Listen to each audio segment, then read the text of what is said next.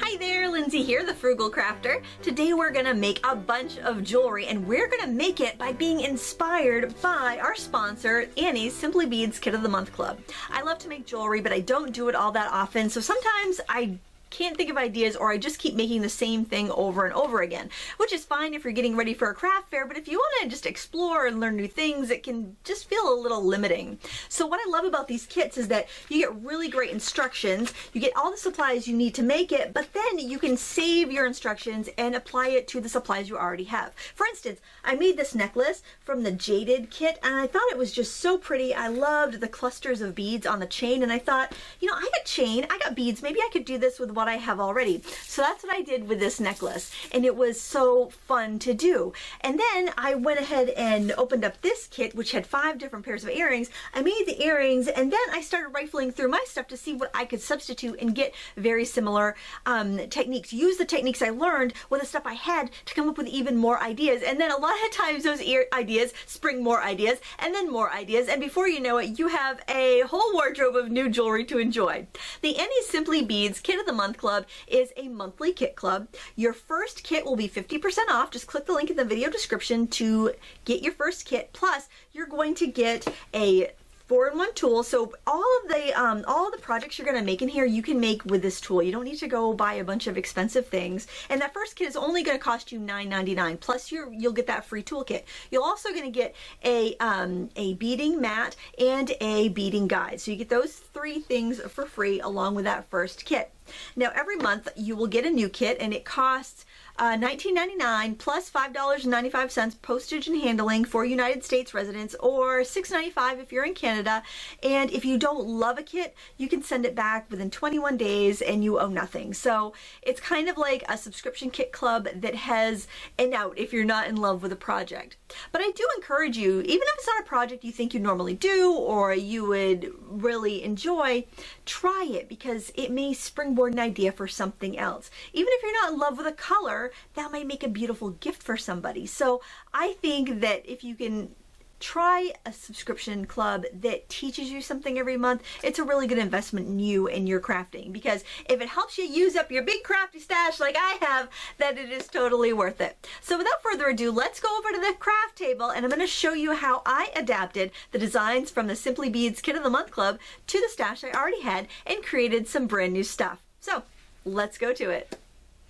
My first design inspiration comes from this beautiful necklace here. And the pattern is in the Jaded kit from Annie's Simply Beads Kit of the Month Club. And I love necklaces with dangles on chain. I think it's such a pretty effect, but I don't think to do it very often. And they even had some earrings that have those little dangles as well. So here you can see the necklace, which is really pretty, but to be honest, I prefer more color and sparkle in my design. So I think this would be a gorgeous um, piece of jewelry to give as a gift. And the earrings are really pretty too. But for me, I love color. So taking inspiration from this, I decided that I would use some of my colorful bead, beads for my stash.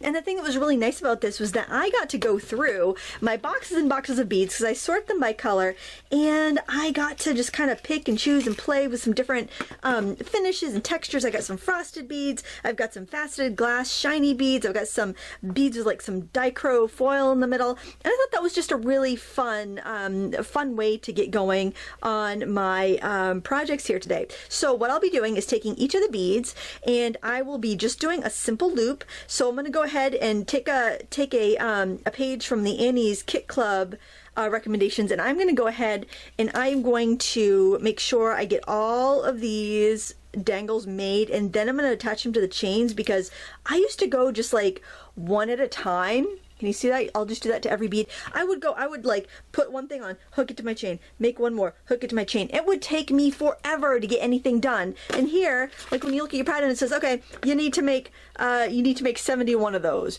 So you just do that. And then when you go to put your stuff together, it's so much easier. So that's my inspiration piece number one. I also have some earrings, some beads for earrings, but I'm not going to do the chain dangles uh, because I, my silver chain is bigger and I think that might be a little too bulky for earrings.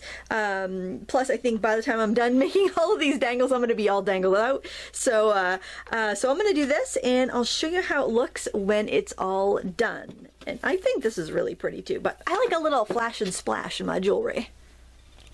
I wanted to share this jewelry making tip with you um, because it really helps, especially if your eyes get strained after working for a while. And this is just a little tool called like a little helping hands tool, and you can get them at like Harbor Freight for five dollars, or you can pay a little bit more at like online jewelry suppliers.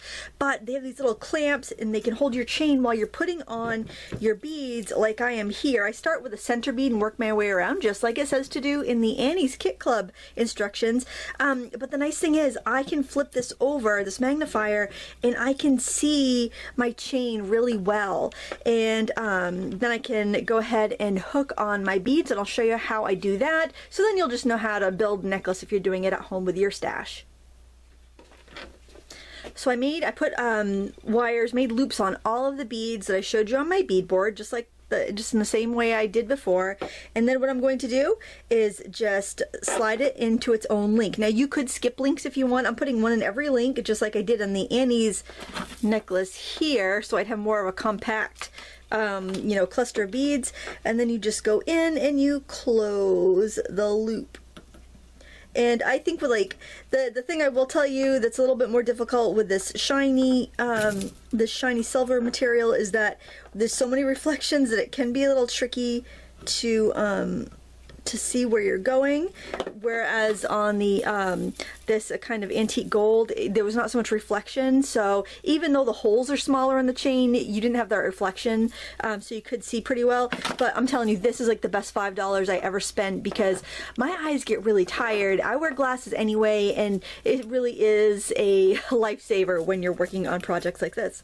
So I'm gonna go ahead and put the rest of my beads onto my chain and I'll show you how it turned out and here is the finished necklace. I am so pleased with the way it came out. It's a little heavier than the um, than my inspiration piece because I used a chunkier chain and these have some pretty big beads on them, but I just absolutely love it. It's a perfect length for me and it was so much fun to make. And then I didn't do chain for the earrings. Instead, I decided to do kind of like a rainbow of uh, some other beads that I had and I really like the way that came out and there's no way I would have thought to do this if I didn't have the inspiration pattern from my Annie's Kit of the Month Club. This first design from the kit I showed you with five earrings was pretty neat. I hadn't made um, earrings with a ring in the center like that and I thought it was kind of fun. So first off I decided after making these I would look and see what I had for supplies myself and I found that I had these kind of funky spacer beads that I thought would work for that center ring. So um, let's go ahead and make this earring that is inspired by this one. Um, so what I'm going to do is just take a head pin and put it onto a just a imitation pearl there from my stash. We all have earrings, we uh, beads we bought like clearance and stuff like that, or maybe we have a couple uh, left over from a project. That's great for earrings because you only need two. Now I need a little bit longer of a wire than I would need for a simple loop, so I'm going to give myself about three quarters of an inch. And then I am going to pull the wire up to my fattest part of my pliers and start rolling it up so that I end up with a really big loop, okay? I gotta have this loop big enough that it's going to go through my, um, uh, that, that kind of ring bead that I have, okay? And I'm just going to give it a little twist to open it. I haven't fully closed it because honestly I should probably use like a dowel or a, or a jump ring maker to make a, a round loop, but I want this to be something that everyone would be able to do with basic supplies. So I'm going to slide this on. This is a spacer bead like for a, like a Pandora style um, bracelet. And I'm just going to put that on there and then I'm going to close it up and that way nothing can fall off. So there's our bottom. And then what I'm going to do is um, open up a fairly large jump ring. I like to use two pliers when I'm opening jump, jump rings just because it's a little bit easier for me to handle. And I just hold either side of my ring and give it a little twist to open it. And you have to open it pretty wide so that it can go on the, um, on that ring. And I have to that's tough for me to do on camera because I'm holding this pretty far away from my face and I and I like I mentioned before I like to see things close up. And I chose an ear wire that's got a little like a little bead on it because I thought that'd be a nice touch um, because this is just going from ring to ring. I thought having a little bead there would be nice. Um, so some of your earring wires have those and some don't I always um, make sure I use up one packet of ear wires before I open another one for that reason because sometimes you could think you're getting the exact same thing but one has like that little spring and bead and one might the next one might just have a spring and no bead. Now I do have to close this up pretty well because I do have that uh, ear wire on there so I'm going to try to do that on camera but if I can't then it might just go out for a bit. And I do have that video with basic beading techniques that I will link up in the video description so that if you have any, if you need to see close-up um, tutorials you can. There we go. I think that's pretty good. I'll look at it under my magnifying glass in a few minutes to make sure it's good. But there we go. There's my first um, pair of earrings inspired by the ones from the Annie's kit. Well, I was looking through my stuff, and that's the best thing to get inspired is to go through your stuff and see what you have. When I was looking through my stuff, I found another Pandora spacer bead, but this one had rhinestones on it, and I thought, wouldn't it be pretty to mix it again with a pearl like I did there, but kind of stack things up with a, um, with kind of like a uh, teardrop style bead. So that's what we're going to do next. This is a simple strung bead um, and it just has a cool look because of the types of beads we're using. So first your teardrop with the skinny side up, then our rhinestone spacer uh, Pandora style bead or European style bead. Slide that out of the way so you can see. And then we're going to do a small lavender kind of colored pearl and we are going to do a smaller loop. So I'm just bending this about an eighth, sixteenth of an inch or an eighth of an inch above that bead so I make a right angle. Then I'm going to trim off, um, so I just have about a quarter of an inch of wire left. I usually put my hand next to it so I can catch it so it doesn't fling off. I'm always afraid of it going in my coffee or something. And then I am going to grab it fairly close to the front of my pliers because I want a small loop because it's just going to go on an ear wire. And I'm just going to roll it up so I get a perfect little circle there. Isn't that dainty and lovely? Then I'm going to give this a little twist to open it, or you can always open up the ear wire side if you prefer. Um, you know, you might want to open up the ear wire side if you had a difficult time with your head pin and you felt and you were like kind of messing with it for a bit to get just the right size and you think you might have weakened it. Best thing would just be grab a new head pin and start again. But in case you didn't have another one or you didn't want to do that, then open up your ear wire because that would have had less stress on it. But there we go. We have another pair of earrings inspired by the one from the kit. These next earrings I'm going to show you are really fun. When I was putting this um, kind of like imitation shell uh, earring together, it might be real shell actually, I was thinking wouldn't this be fun to do with sequins and then it would be super lightweight. These are pretty lightweight as is, but they'd be very lightweight and perfect to do with like a kid's birthday party craft. And um, something else I want to show you about this kit here, and this is the earring kit I've been inspired by, um, is that it came with some clip-on findings. So if you've never seen these before, you can get these um, in in a dangle form like this, or you can get them in a, like um, kind of close to your ear, more of a, like a post style. And what these do is allow you to do the same designs you would do for a pierced ear dangle earring, um, but to do it in a clip-on format for either children or adults that don't have their ears pierced. And then instead of um, hooking your earring to a you know uh, like a fishhook style earring or leverback earring you would hook your earring into that loop right there. So these are really handy. Um, they came in this kit. Uh, but if you don't have this kit you can find that in any craft store as well so after making these, I dug through my sequin uh, mix and I found some really cute sequins and they are so easy to put together for this earring. All you're gonna need is a jump ring and I've got one right here and you just want to open it up and like I mentioned before I like to use two pliers and if you need to see slower instructions on opening jump rings, closing jump rings, all of that stuff please refer to my top 10 techniques for bead making video. Now after that's opened, you are just going to string on your sequins. I'm going to move those out of the way uh, from front to back. So I'm going to put my butterfly on first. And you can get sequins like this in any sort of sequin assortment from the craft store. Then I'm doing this uh, round big round one. Look for sequins that have the holes close to the top of the um, of the sequin so that they will dangle like that and they won't get caught up in the jump ring. And then I'm going to put this uh, long oval one in behind. And then I am going to put on an ear wire. And I just want to make sure the loop, the bump of the ear wire is going to be facing, is going to be on the same side as my butterfly. So it would go that way. And then close my ring up and that's all there is to it. And there you have a very sweet set of super lightweight earrings. These would be so fun to wear to the beach, so lightweight and just really pretty and fun. And they have a great sparkle to them as well. These next earrings are really fun because honestly they remind me of ballerinas because they just kind of like really dangle. It almost look like legs just kind of kicking the can can or something. And they just uh, they just really are fun. And of course I like color and I like whimsy and I like uh, I like kind of girly designs. So I thought it'd be fun to make it look like a flower just hanging.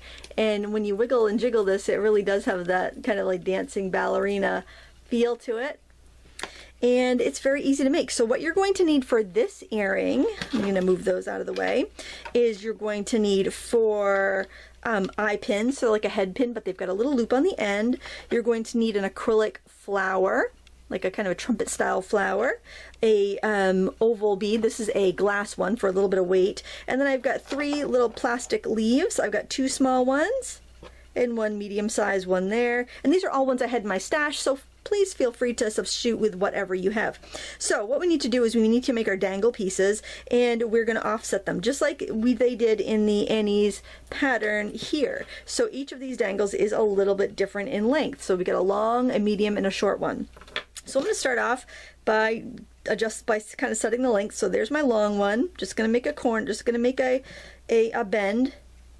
I'm going to make a medium one, a little bit shorter than the long one. And I like to set, kind of set them out just to make sure that I do have them a little bit different. And then I'm going to make a short one. The other one we're going to leave alone. Okay, we're just doing this on three. Okay, there we go. So now on the long one, we are going to put our bigger leaf. So I'm going to make a simple loop here. Going to cut this about a quarter of an inch from my bend. You see that? And I am just going to loop this up. You need to make it big enough that you're going to be able to fit your um, your your bead in there. I'm going to open this up. And I'm going to put on my biggest bead because this is the longest one. You're going to repeat this with the two smaller leaves that you have. So you're going to have three dangles made. Now you're going to open your jump ring and you are going to slide on each of the dangles that you made so they are hanging from this. Now you don't have to do this. Um, you can actually just put all of these directly onto this head pin but this is going to give you more movement if you have a jump ring there so that's completely up to you what you want to do and then we're going to close this up Okay, that jump ring is closed. We've got all three of those dangles on our other eye pin. Look at them go. Aren't they cute? So much movement and so light. I love it. Okay, now we are going to take our flower. These are so fun. I love acrylic flowers and they're very inexpensive. You can get big bags of them for a few dollars and so fun to make jewelry with kids and even I like them. I, I make them for me. Um, and so then we get a lot of good movement there and some of the apparatus is hidden inside the flower, which is nice. If you didn't use a jump ring, all of those little loops would be hidden way up inside the earring, but you wouldn't have as much movement because they wouldn't be able to swing so free. And then we're going to put that glass bead on top just to give it a little bit of weight. And then we're going to finish it up just like we would normally by doing a simple loop and hooking it to a earring finding. So we do our bend, we're going to snip about a quarter of an inch away, we're going to roll it up and then put it on our ear wire.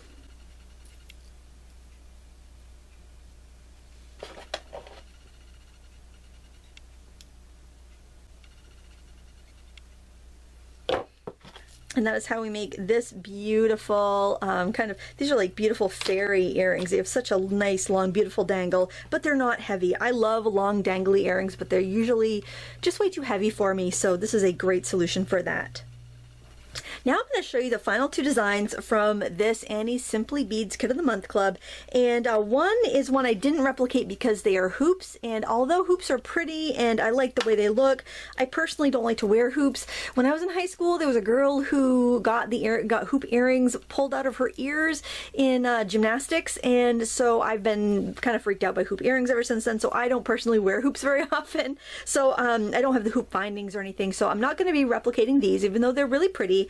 Um, and then I've got these, which I really love the chandelier style earring, um, but I tend not to wear these too often because they're a little heavier because you've got the metal chandelier part and then you've got the glass beads or pearls that are kind of heavy. But I did love the design and I thought it'd be a nice gift uh, project to make. So I went through my stash and I found that I have these pretty kind of like, they almost look like, um, I don't know, like a musical instrument, like a mandolin or something, um, gold finding, which I thought was really pretty.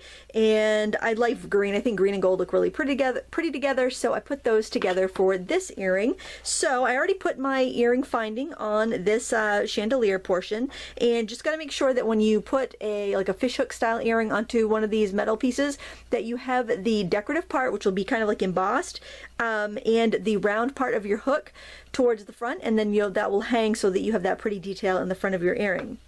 So I made a couple dangles already, and instead of using a regular head pin, I'm using a ball-ended head pin, so it looks like you have a little gold bead on the end already, so you get that extra detail without adding any extra weight, which is kind of um, important when you're using something with like a heavy like chandelier attachment, then you're simply going to put your beads on. So I just did one uh, teardrop for the two dangles on the end, and I did a teardrop and just like a regular round bead for the dangle in the center so it would hang a little bit lower just like my inspiration piece the inspiration piece the middle uh, dangle was a little bit longer and we're going to go ahead and turn this into a simple loop just like we would on all the other pieces that we've done so far. And then to make the earrings, just like um, just like it says in the instructions for those, we're just going to put our dangles onto the loops on our earring. Now sometimes I've noticed if I'm ever using like an antique gold or um, sometimes gold for some reason, gold finish rather than silver finish, I sometimes will have an issue with the um, with my head pins snapping.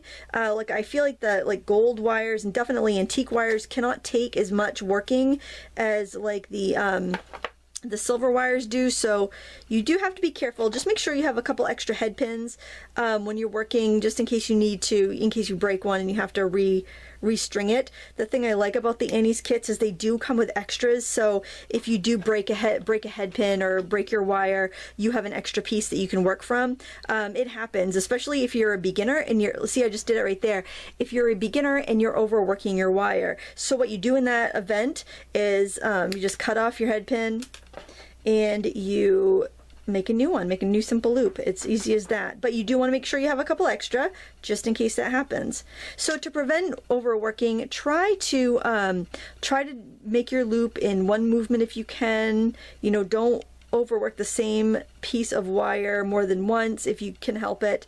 Um, just try to be very gentle with it. You don't want to keep opening and closing and opening and closing because that's what's going to weaken your wire and make it more likely to um, to break in the future or break while you're working it. So that's just something to keep in mind as you're working. Always make sure you have an extra one just in case you need it. Thanks so much for watching today. I hope you found this inspirational and I hope you get your beads out and you make some really fun stuff. And if you've ever been thinking about subscribing to a Kit of the Month Club, I think you really ought to give the Annie's Simply Beads Kit of the Month Club a try. I know you may be like me and you have tons of supplies at home and you're thinking, oh, I really ought to use what I have before I get something new. But think of it as the education because you get so many new project ideas and after you make the project from the kit, you can take your patterns and you can apply it to what you already have and come up with some really cool new designs that you never would have thought of before. So I really think it's worth the investment just for the ideas alone. It's not very expensive either. Your first kit is $9.99 plus shipping and handling. And then after that, each of your monthly kits is $19.99 plus shipping and handling. And if you're not absolutely thrilled with a kit, you can send it back and owe nothing. So it really is affordable and risk-free. I want to thank you so much for watching today. Please give me a thumbs up if you enjoyed this video. Hit that subscribe button if you want to see more. And until next time, happy crafting!